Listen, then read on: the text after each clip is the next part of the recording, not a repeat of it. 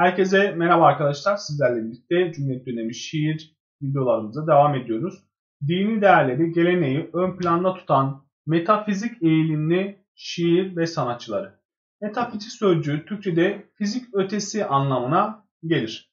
Daha çok İslami söylem olarak karşımıza çıkacak arkadaşlar buradaki sanatçılarımız. Tekke ve divan edebiyatı, tasavvuf, Kur'an-ı Kerim, hadisler, peygamberler kıssası, İslam tarihi ve mistizm dini duyarlılıkta şiir yazan sanatçıların kaynakları olarak karşımıza çıkar arkadaşlar. Dini duyarlılıkta şiir yazan sanatçılar divan ve hak şiiri geleneğinin hem biçim hem içerik özelliklerinden yararlandılar. Bazı sanatçılar hece ölçüsünü kullansa da genellikle serbest şiir anlayışını benimsediler. Şeyh Galip, Fuzuli, Mevlana ve Yunus Emre gibi sanatçılardan yararlandılar. Şiirlerinde İslamiyet'i ön planda tutan Mehmet Akif Ersoy, Necip Fazıl Kısakürek gibi dini duyarlılıkla şiir yazan şairleri örnek aldılar. İkinci yeni şairler arasında kabul edilen Sezai Karakoç, diriliş kavramından yola çıkarak dini duyarlılıkla şiir yazdı. İsmet Özel ise ilk önce toplumcu gerçekçi, sonrasında arkadaşlar İslami düşünceye bağlı olarak dini duyarlılıkla şiirler yazmıştır. Sanatçılarına baktığımız zaman Sezai Karakoç, Cahit Zarifoğlu, Ebu Bekir Eroğlu, İsmet Özel, Nurullah Genç, Adil Erdem Beyazıt, Hilmi Yavuz, 1960'tan sonra İslamcı mistik duyarlılıkta şiir yazan sanatçılar arasındadır. Sezai Karakoç, tam adı Mehmet Sezai Karakoç'tur. Mehmet Leventoğlu, Zülküf Can Yüce, Sait Yine, Mehmet C, Güneş, M. Cemil, Mehmet Yasin, Mehmet Yasinoğlu, SYM, BYM, Y imzalarını kullanmıştır. Şiirlerindeki kapalılıktan dolayı ikinci yeniye yaklaşsa da İslam'ın ana kaynaklarından yararlanmasıyla hiçbir şiirinde anlamdan ödün vermemiş olmasıyla ikinci yeniden ayrılacaktır arkadaşlar. Sanatçı İslamiyeti ve onun dirilişini ön planda tutan diriliş ekolü olarak adlandırılabilecek bir sanat anlayışı oluşturdu. Galip şiirini günlük çırpınışları içinde hayatı olduğu gibi anlatan gerçekçi realist akım sonrasında ortaya çıkan ikinci yeniyi yeni gerçekçi şiir olarak değerlendirdi. Karakoç kendisini ikinci yeninin bir temsil olarak görmemektedir. Bunu da bilelim arkadaşlar. Aralıklarla çıkardığı Diriliş dergisinde sadece şiir anlayışını değil, din, tarih, medeniyet, siyaset gibi pek çok konuda düşüncelerini de aktarır. Şiirlerinde İslami düşünceyi modern şiirdeki gerçeküstücülükle kaynaştırdı. Bu bakımdan da önemli. Şiirlerinde işte peygamber, uygarlık, diriliş gibi kavramlar üzerine yoğunlaştı.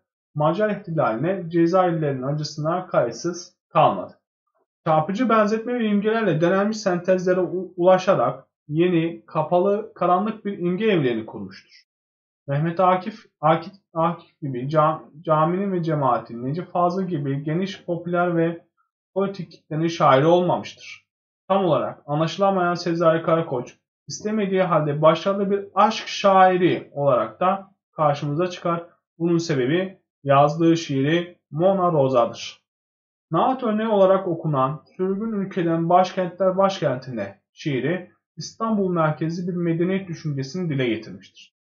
Mağara ve Işık adlı eseri ÖSYM tarafından şiir kitap olarak kabul edilmiş olsa da düz yazı türünde bir eserdir. Eserleri Hızırla Kırsaat, Taha'nın kitabı, Körfez, Leyla ile Mecnun, Mona Rosa en önemli şiirleridir. Adil Erdem Beyazıt, ikinci yeninin anlatım olanaklarını İslami ögelerle birleştirerek geliştirmiştir. İslam estetiğinin biçimlendirdiği kapalı ve imgeci bir söylem ortaya koymuştur. Daha çok endüstri toplumunun parçaladığı insanı dini duyarla davet eden şiirler yazmıştır. Bulmak adlı şiiri başarılı bir naat örneğidir. Şimdi naat diyoruz arkadaşlar ama naat neydi? Cum e, Peygamber Efendimizin hayatını anlatan eserlerdi. Buna da dikkat edelim. Şiiri, sebep, ey, risaleler, şiirler. Gezi yazısı İpek yolundan Afganistan adlı eseri de önemlidir. Cahit Zarifoğlu ikinci yeni şiirinin etkisinde kalmıştır. Şiirlerinde kahramanı kendisi olan bir serüven vardır. Madde ruh ikilemi ve çatışması, Batı'nın hem e, hegemonyası, Batı diktasına karşı Doğu protestosu, karşı baş kaldırı vardı şiirlerinde pek çok tezat, trajik biçimde onun şiirlerinde birleşir.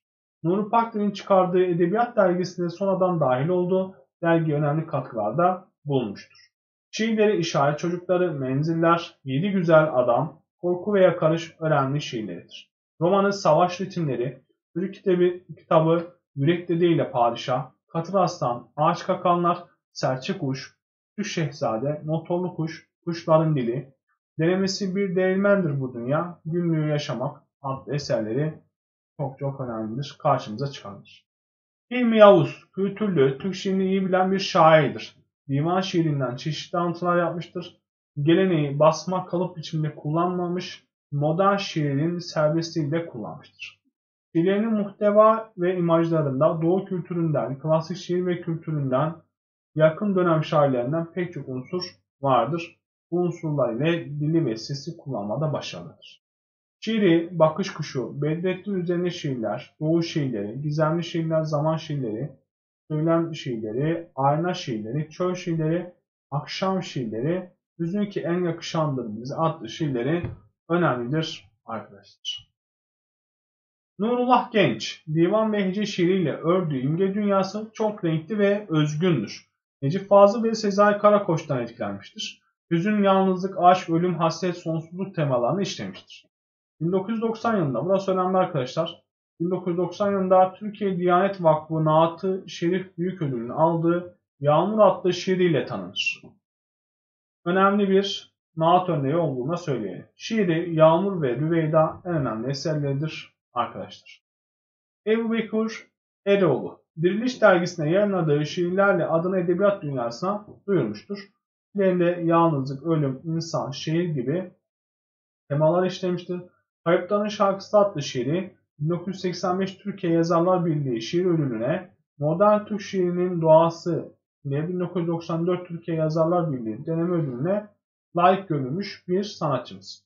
Şiirleri, Kuşluk Saatleri, Kayıpların Şarkısı en önemli eserleridir. Evet arkadaşlar sizlerle birlikte dini mistisizmi yansıtan şairlerimizi işledik. Bundan sonraki videomuzda 1960 sonrası toplumcu şiir, e, ile ilgili bilgiler vereceğiz. Kendinize iyi bakın. Görüşmek üzere.